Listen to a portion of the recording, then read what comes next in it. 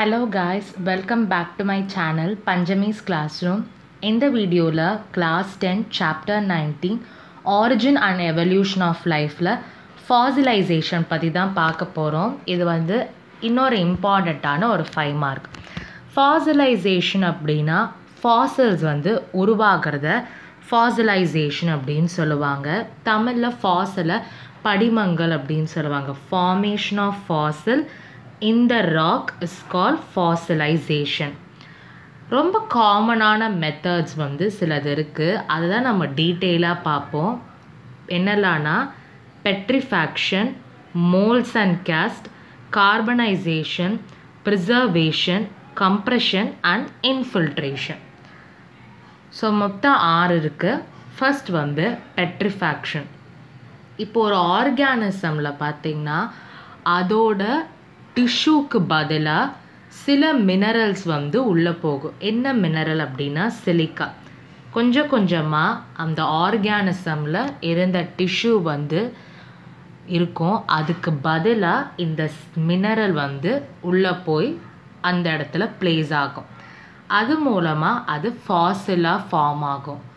இந்த பெட்ரிஃபேக்ஷனால் நமக்கு என்ன யூஸ் அப்படின்னா அந்த ஆர்கானிசமோட ஹார்டான சாஃப்டான பார்ட்ஸ் வந்து அப்படியே ப்ரிசர்வ் ஆகிருக்கும் ஸோ இந்த மாதிரி போன்ஸு உட் ஃபாசில் எல்லாம் அவங்க கண்டுபிடிச்சிருக்காங்க. இந்த பெட்ரிஃபேக்ஷன் ஃபாசிலைசேஷன் மூலமாக அதுதான் சொல்லியிருப்பாங்க. Minerals like silica slowly penetrate and replace the original organic tissue இந்த பார்ட்ஸ் மூலமாக நம்ம ஹார்ட் அண்ட் சாஃப்ட் பார்ட்ஸை ப்ரிசர்வ் பண்ணியிருக்காங்க. போன்ஸு உட் ஃபாசில் அது எல்லாமே இந்த மெத்தட் மூலமாக ப்ரிசர்வ் ஆகிருக்கு செகண்ட் ஒன் வந்து மோல்ட் அண்ட் கேஸ்ட் இப்போ வந்து இந்த மாதிரி அச்சு பண்ணி ஃபார்ம் ஆகிருக்கிற ஃபாசல் தான் மோல்ட் அண்ட் கேஸ்ட் ரொம்ப சிம்பிளாக சொன்னால் இப்படி சொல்லலாம். இப்போ ஒரு ஆர்கானிசம்க்கு மேலேயும் கீழேயும் சில செடிமெண்ட் பார்ட்டிகல்ஸ் வந்து இதாக இருக்கும் இது ரெண்டுத்துக்கும் நடுவில் அந்த ஆர்கானிசம் வந்து இருக்கும். செடிமெண்ட்ரி ராக் மூலமாக ப்ரிசர்வ் ஆகிருப்பாங்க என்ன ஆகும்னா அந்த ஆர்கானிசம் டிசால்வ் ஆகிடும் அந்த பார்ட்ஸ் வந்து அப்படியே ஒரு டிப்ரெஷன் மாதிரி க்ரியேட் ஆகிருக்கு அதாவது ஒரு அச்சு மாதிரி அந்த செடிமெண்ட்ரி ராக்கில் வந்து க்ரியேட் ஆகிருக்கும் அப்படின்னு சொல்கிறோம் நமக்கு வந்து அந்த வாசலில் அதோட ஸ்ட்ரக்சர் அது எப்படி இருந்ததுன்றதை நம்ம தெரிஞ்சுக்க முடியாது ஷேப்பெல்லாம் நம்மளால் அந்த ஃபாசலில் தெரிஞ்சுக்க முடியும். ஆனால் இன்டர்னல் ஸ்ட்ரக்சர்லாம் நமக்கு தெரியாது மோல்ட் அண்ட் கேஸ்ட்டில் ஆனால் பெட்ரிஃபேக்ஷனில் hard and soft part preserve ஆகிருக்கும் மோல்ட் அண்ட் கேஸ்டில் அதோட ஷேப் வந்து நம்ம தெரியுமே தவிர அதுக்குள்ளே என்ன இருந்தது என்ன பார்ட்ஸ்லாம் இருந்ததுன்னு தெரிஞ்சுக்க முடியாது. ஸோ ஒரு அச்சு மாதிரி ஃபார்ம் ஆகிருக்கும் அதான் மோல்ட் அண்ட் கேஸ்ட் இந்த கேஸ்டில் என்ன ஆகும்னா அந்த ஒரு டிப்ரெஷன் அந்த அச்சு வந்து மேலே மினரல்ஸ் இதெல்லாமே செட்டில் ஆகிருக்கும் இதான் mould and cast preserved in sedimentary rock next original shape காமிக்கும் ஆனால் அவங்களோட இன்டர்னல் ஸ்ட்ரக்சர் வந்து நமக்கு தெரியாது. அந்த அண்டர் கிரவுண்ட் வாட்டர் மூலமாக அந்த ஆர்கானிசம் டிசால்வ் ஆகிருக்கும் ஆனால் அந்த ஆர்கானிசமோட ஷேப் வந்து அந்த செடிமெண்ட்ரி ராக்கில் அச்சு மாதிரி ஃபார்ம் ஆகிருக்கும் இதான் மோல்ட் அண்ட் கேஸ்ட் நெக்ஸ்ட்டு வந்து ப்ரிசர்வேஷன் ரொம்ப சிம்பிளானது தான் இந்த ப்ரிசர்வேஷன் ஐஸு ஆம்பர் இதில் எல்லாமே ஆர்கானிசம்ஸ் வந்து அப்படியே ப்ரிசர்வ் ஆகிருக்கும் பிளான்ட்ஸ் அனிமல்ஸ் இது எல்லாமே ப்ரிசர்வ் ஆகிருக்கும் இது மூலமாக அந்த பிளான்ட்டாக இருக்கட்டும் அனிமலாக இருக்கட்டும் மக்கி போகாது. ஏன்னா ஐஸ் அண்ட் ஆம்பரில் preserve ஆயிருக்கிறதுனால.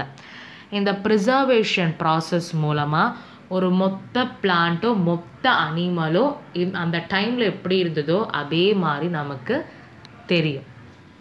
Original remains can be preserved in ice or amber எதுலேருந்து காப்பாதுன்னா மக்கி போகாமல் இருக்க யூஸ் ஆகும்.